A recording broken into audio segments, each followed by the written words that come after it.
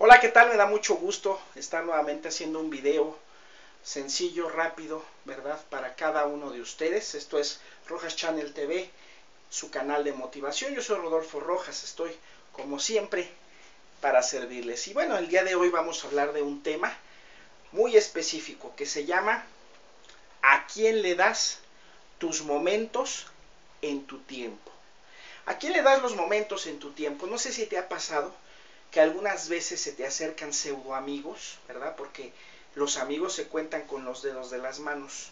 Nunca se te olvide cuando alguien te llame amigo, el tener siempre presente si de verdad es tu amigo o simplemente es un pseudo amigo.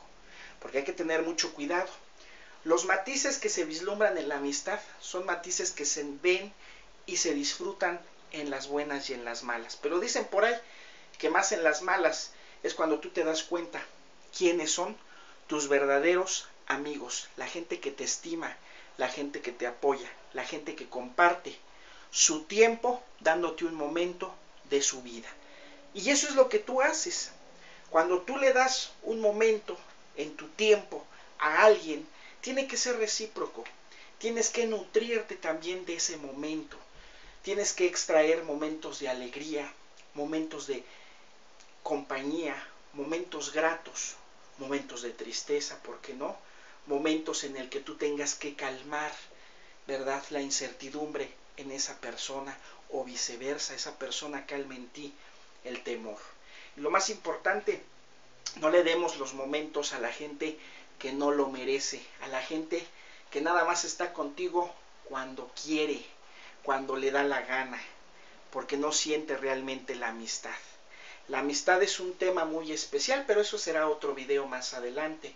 Hoy solamente es decirte, abusado, no le des tu momento al tiempo de alguien que no lo merece.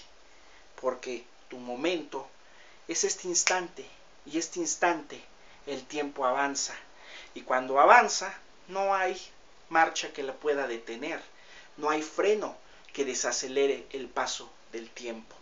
Así es de que esos momentos sean inolvidables, llénate de momentos felices, de momentos constructivos, de momentos únicos, de momentos que te hagan ver la vida con otro color, con otra dimensión, con otro espacio. Y como siempre, que tengas el mejor de los momentos en tu vida. Hasta la próxima.